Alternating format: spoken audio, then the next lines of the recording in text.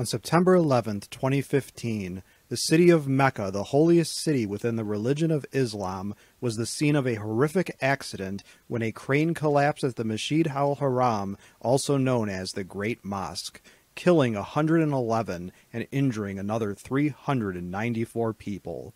The deadliest crane collapse in history, the deceased victims included believers from 12 different nations as devout Muslims were preparing for the annual Hajj pilgrimage.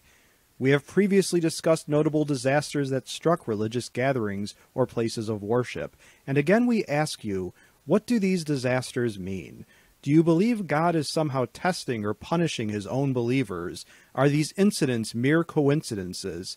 Please share your opinions with us. As a question for my students and subscribers, what is the worst religion related disaster you can think of?